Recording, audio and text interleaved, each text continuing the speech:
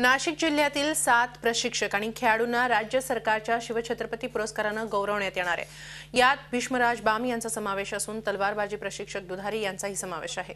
मात्र आंतरराष्ट्रीय स्तरावर चमकलेल्या कविता राऊत अंजना ठमके मोनिका आथरे संजीवनी जाधवसह आदिवासी भागातल्या आठ ते दहा खेळाडूंना घडवणाऱ्या विजेंद्र सिंग या प्रशिक्षकाकडे दुर्लक्ष करण्यात आलंय. वारंवार अर्ज करूनही टाळण्यात येत असल्यानं त्यांनी आता यापुढे पुरस्कारासाठी अर्ज करणार नसल्याचं मत व्यक्त केलंय.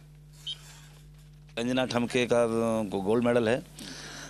फार्म मैंने भरा है। मुझको लगता है अगर इसके बाद भी गवर्नमेंट को नहीं लगता कि मैं इसके लायक नहीं हूँ तो मुझको नहीं लगता मैं आगे से कभी फार्म भरूँ जो प्रामाणिकपणे प्रयत्न करतो आहे आणि या देशाचं नाव उज्ज्वल करण्यासाठी ज्याचे कष्ट कारणीभूत लागतात ते अशाला द्रोणाचार्य पुरस्कार मिळू नये हे योग्य नाही. शासनाने या संबंधात योग्य तो विचार करावा आणि त्वरित त्यांना द्रोणाचार्य पुरस्कार मिळेल असं बघावं. झी चोवीस तास एक पाऊल पुढे.